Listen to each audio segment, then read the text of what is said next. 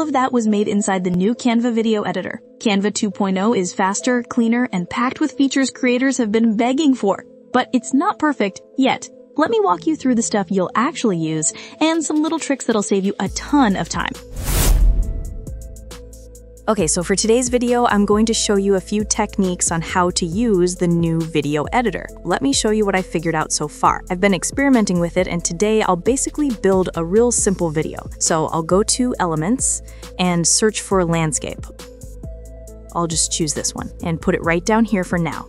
This is what I call my foundation layer, and you'll see in a few minutes some other things I'll add to this. If you want to add a page, you just click here, for now, I'm just going to choose blank, but you can choose one of these others if you need to. I'll add a couple other things down here. I'm going to lengthen these a little bit. You can also just drag it over here. Sometimes you just have to play with it a little bit. All right, so I have three scenes, pages, whatever you want to call them, and now I'll add some other things. So I'll click here and choose these, then shrink them a little bit, you see Canva put it right over here, that's because that's where my playhead is, right? So wherever your playhead is, that's where it's going to add something when you click on it. But I want it to be over here, so I'll drag it over like that. Now you see it's there, but it's on a layer above it, so now you gotta start thinking more about working with layers. We can see they're moving, click on the actual page, so it's moving but it's not going anywhere. So what I'll do is take this and stretch it to fit. Now I'll come over here, pull this over like that, and I'm going to click on animate just like before. Click on the B, and then we're just going to kind of pull it across. So that's pretty much the same as before. Then click Done. If you didn't like it, you could delete the path and redo. But what if we wanted those birds flying from one side to the other? We could always duplicate it. I'll keep them all on the same layer for now, and duplicate it.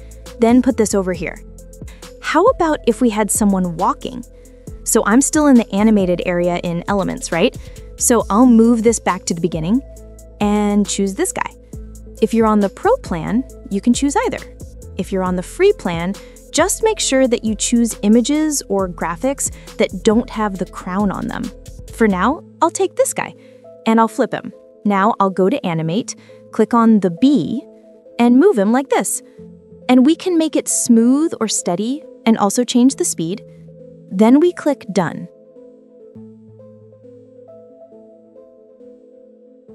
Maybe we want a helicopter. Let's give this one a shot. Since I've got the birds in the scene, I'll need to adjust this a bit.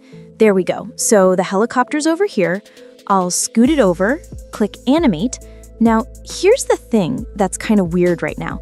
Even though we're on this page, it's showing this one. So just remember you're on this page. I don't know if they're going to change that or not, but that's the way it is for now. Maybe I'll keep it a little bit faster and choose steady. And then maybe we want to add something extra here. So how about, how about this plane? So I'll take the plane and put it right up here. Okay, I'm going to click on the background and I'm going to click here on Edit. Then I'm going to click on Magic Grab. I'll grab this tree here. So now you see the tree is on a completely new layer. I don't want it on these layers because it doesn't belong there, only on that one. So I'll pull it over like that. So now we'll have the tree above it. To fix that, if we want the birds to fly in front of the tree, we'll need to keep them behind it. And now it's going to go behind that tree. If you want to add music, you can. If you click right here to add audio, it'll take you directly to the audio section here. You could also add voiceovers right in here. I'll take this back to the beginning because remember, wherever the playhead is, is where it'll add it at, right? So you could add any of these musics or sounds but for now, if you click on Add Audio, it's going to take you to these choices here inside Canva. And just for an example, I'll show you how to add something real quick. If you want to listen to them, you click here. And then if you decide you want to use any of these, you can grab this one and put it right down. You can also fade in, and if you'll notice down here, it'll change.